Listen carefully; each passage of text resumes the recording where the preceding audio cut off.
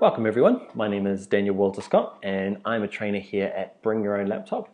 Um, this, um, in this part, uh, the first part, we're going to be going through and just getting your environment uh, sorted out for the rest of our tutorials because what can happen is you can open up your copy of InDesign. It can look very different from these tutorials. So we'll go through and change it.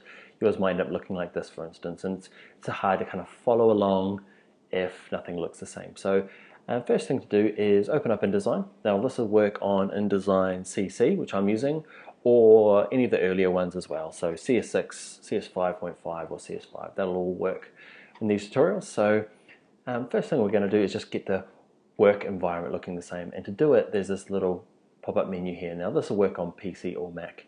Um, so what we're going to do is we're going to start off on this one called Essentials. Okay, um, so use this little drop down up here okay? And once you've got it what you might find is that it pops into these little tabs here okay? And these little tabs are great once you know what you're doing okay? Kind of gets the screen size kind of smaller on the size but I find and it's very typical to actually push these little bits out. So see this little double arrow in here? Okay just above these ones expand panels. If you click it okay it's a more common way of working in InDesign. So you can see all the little panels open. And nice. Okay so that's our first part. All right